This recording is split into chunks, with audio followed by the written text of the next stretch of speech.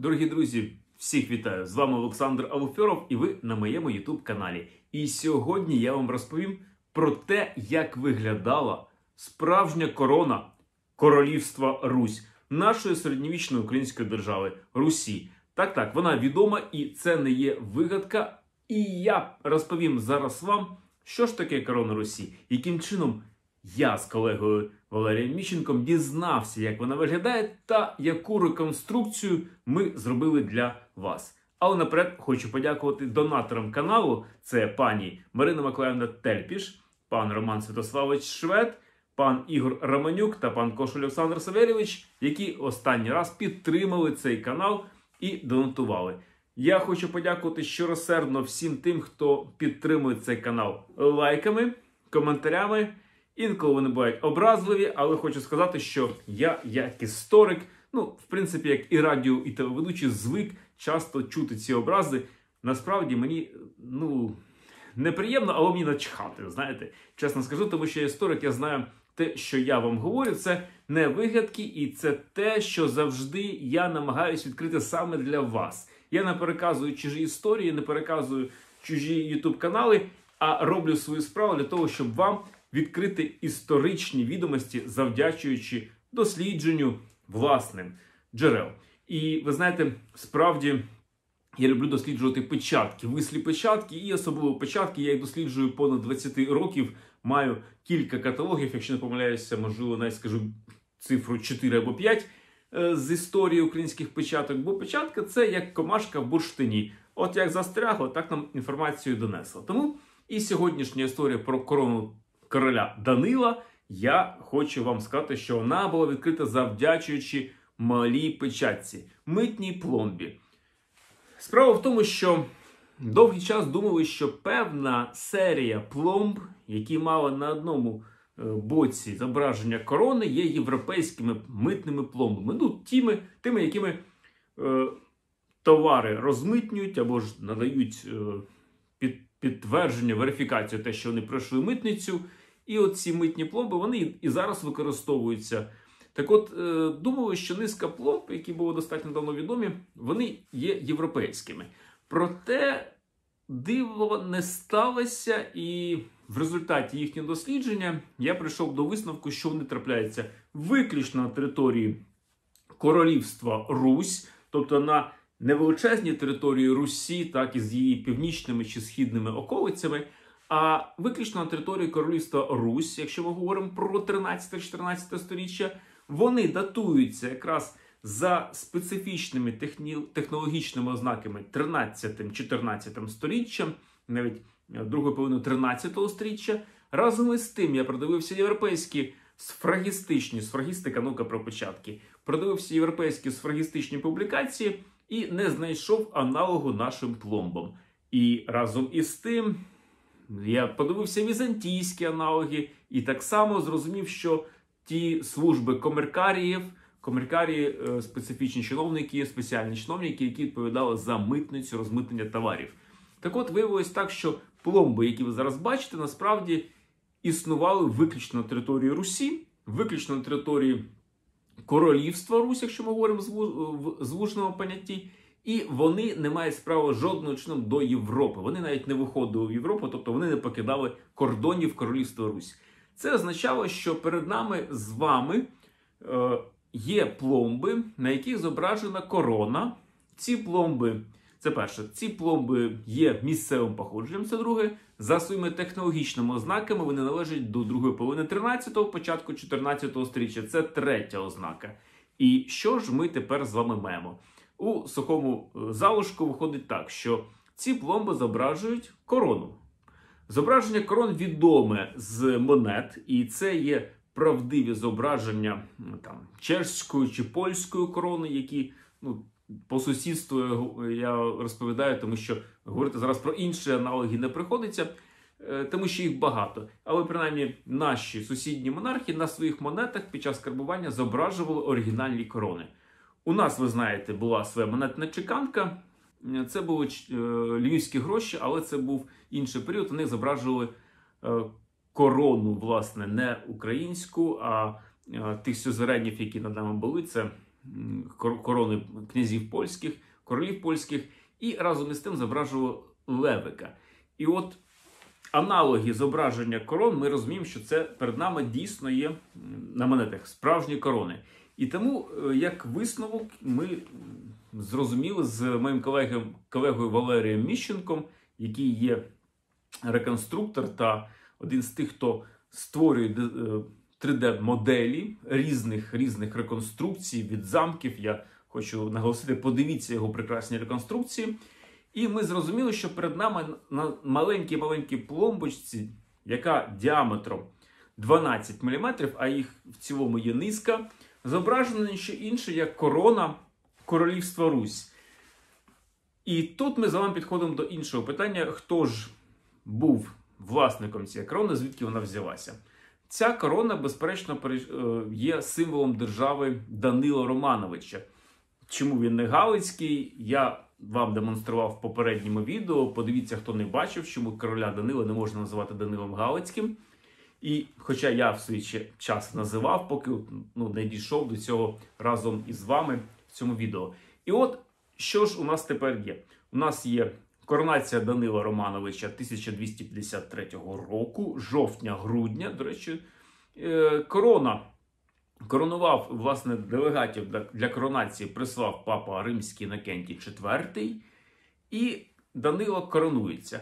Його корона переходить безпосередньо у спадок його нащадкам, і вона, в принципі, фіксується ну, до моменту середини 14 століття, як такий е, атрибут сакральної влади. Ми прекрасно з вами знаємо, що і сам Данило Романович був непростим монархом.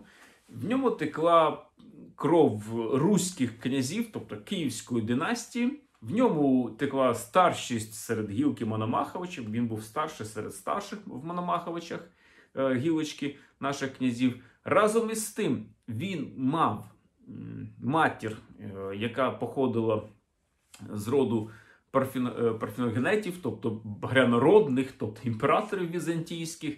І все це промовляло те, що і сама корона Данила Романовича буде непростою. Як ми вияснили в дослідженні, це і справді так. Отже, з Валерієм Міщенком ми змогли проаналізувати відомі зображення на той момент корон, які власне були і надавалися папою римським. І ми зараз я вам зараз демонструю ці зображення. Е, Їх не так багато, але нас цікавили такі елементи, як, наприклад, форми корони, так? е, її розміри, те, як вона інкрустувалася, так, які існували кластери для вставки каміння. Тому що це все нам би допомогло правильно реконструювати модель корони, взируючись на техніки, які використовували європейці для того, щоб робити корони. Разом із тим, ми розуміємо, що Русь це держава, яка була спадкоємицею кількох традицій. Безперечно, це віз- візантійське підґрунтя і вже новітні європейські е, тенденції Західної Європи. Тому ми аналізували не тільки корони з Європи, але й корони, які теж межували, наприклад, на оцих от трансмаршрутах між е, Європою і Візантією. Так, наприклад, відома корона Стефана, угорська корона Стефана, вона так само належить до поєднання кількох традицій європейської і візантійської. Отже, проаналізувавши корони, які існували на момент коронації Данила, ми зрозуміли, що в принципі наша корона є нічим іншим як продуктом саме того часу. І через це ми дали собі право розробити 3D-модель цієї корони. Ну і тут ми підійшли ще до одного питання, пов'язане з існуванням корони. Як вам відомо, ви можете подивитися в інтернеті. На сьогоднішній день існує реконструкція корони Данила Галицького, вона так і оголошена, але це інше, ніж те, що я покажу невдовзі. Ця корона є реконструкцією Митри, тобто єпископа Перемишльського. Митра, тобто головний убір, тобто те, що є короною князів церкви, грубо кажучи. Склалася думка про те, що саме Перемишльська корона є короною короля Данила Романовича. Проте з неї є цікава історія. Під час Першої світової війни території, які знаходили, на яких знаходилась е, корона Митра Перемишльського єпископа, була захоплена російськими військами. Митра була перевезена до Москви. Потім її через е, міжнародні інституції повернули. Вона повернута була пограбованою, з неї зідрали найкоштовніше. Ну, е, якщо хтось не пам'ятає, то в принципі те саме, що зробили з нашими е, човнами чорноморськими, так, коли їх повертала Росія назад після е, пригод в протоці. Так, то ми пам'ятаємо, що їх повернули завдячуючи міжнародним інституціям, так і повернули теж обідреними без замків, без ручок і тому подібне. Ну, традиції, скажу так, просто подібні що тодішніх більшовиків, що необільшовиків сучасності. Е, Так от, повернули без камінців. Потім були подальші події, пов'язані з її е, з відновленням в чехословацьких на той час е, реставраційних центрах. Була потім історія про те, що почалася Друга світова війна. Коротше кажучи, корона пропала. Митра. Митра, яку вважала короною Данила Романовича, пропала. Пропала і її не існує до сьогоднішнього дня. Проте, те, що Митра Перемишівського єпископа є короною Данила Романовича, підважили самі дослідження цієї Митри. Ну, е, подивіться самі. Е, Дуже цікавий момент. Те, що корона була не золотою, вона була мідною. Не найдорожчий матеріал, погодьтесь. Як для корони, то це взагалі неприпустимий матеріал. Друге, е, не дивлячись на те, що корона була мідною, її каміння, оздоба були достатньо коштовними. І вражає там кількість перлин, які були, тобто кілька сотень дрібних перлин та дві великі перлини. На сьогоднішній день зрозуміло, нам здається, що перли це щось таке, ну, є китайські перли, є там якісь місцеві, річкові, озерні, так, е, є різні перли. Але на момент 13 століття перли це дуже коштовне явище, тому що вони везлися через е, за великими маршрутами, і в принципі ціна велику, великої перлини, яку ми спостерігаємо на зображенні Митра, Митри Перемишльського єпископа, ніщо інше, як ну, ціна, скажімо, там доброго о, якогось маєтку і тому подібне. Тобто достатньо висока ціна. Е, Зауважу з приводу каміння. На коронах тогочасних ми бачимо каміння, і воно, звісно, коштовне. І коштовність цього каміння е, е, в тому, що воно кольорове. Тоді європейці не знали цієї от гранки діамантової, тому діаманти, якщо і вставляли, то вони були просто кількома способами мало цих граней і не мало того блиску феєричного, який ми сьогодні досягаємо через агранку, яка ви, була винайдена наприкінці 19-го і особливо в 20-му сторіччі була вдосконалена. Тож е, корону, корона щезла, проте у нас дійшла до нас е, інформація про те, що в ній були коштовні камінці, і саме перлини. Таким чином, е, вся сукупність інформації, яку ми здобули з Валерієм Міщенком, дозволила нам зробити реконструкцію, принаймні е, продивитися, як буде змодельована корона в її образі, в її основних позиціях. Яким чином можна розташувати каміння, бо зображення на пломбі нам подає те, що корона є триярусною, і це теж якась сакральна ідеологія, яка була вкладена в цю корону, тому що три яруси корони це рідкісне явище, і воно не притаманне європейцям. І тут, очевидно, ми бачимо дух такий поєднуваний з візантійськими традиціями. Ну так чи інакше, Данило Романович, король Данило, був достатньо амбітною людиною, і ми навіть е, в літописі зустрічаємо, що на одному з зборів монархів його угорський король просто ну, просить е, переодягнутися, бо він занадто виразно одягнутий, так що всі дивуються, і е, до нього підійти на якось навіть соромно поруч. Ну, про селфі не йдеться мова, але йдеться мова про статус та честь інших е, правителів. Так от, е, ця корона є теж певним осібником сакральності. Вона має три яруси. Це дуже цікаве явище, е, неповторне для е, Європи. І через це е, реконструкція корони мала от, е, певні такі застереження з того, в тому плані, що ми намагалися якомога детальніше підійти. Я думаю, що сама реконструкція корони короля Данила Романовича, вона е, згідно з цих пломб має в принципі, на відсотків 80 заповнювати в цілому ту форму, яка була, і заповнювати той е, ряд прикрас. Звісно, ми не можемо вгадати з кольором каміння, яке там було, так. Але бодай ми розуміємо, як вона виглядала в цьому графічному варіанті, і як вона має мала б виглядати в 3D моделі. Тож, дорогі друзі, е, прошу насолоджуйтеся 3D-моделлю корони. Я даю лінк в описі цього відео для тих, хто хоче перейти і подивитися цю 3D-модель. На тому ж ресурсі можна подивитися інші реконструкції Валерія е, Міщенка. Ну і я щиро вдячний всім, хто дивився це відео. І на сьогоднішній день скажу, що мені дуже приємно було презентувати цю корону, нашу, е, наш винахід, нашу знахідку з Валерієм в серпні 2021 року. І ми присвятили цю презентацію 30-річчя незалежності України.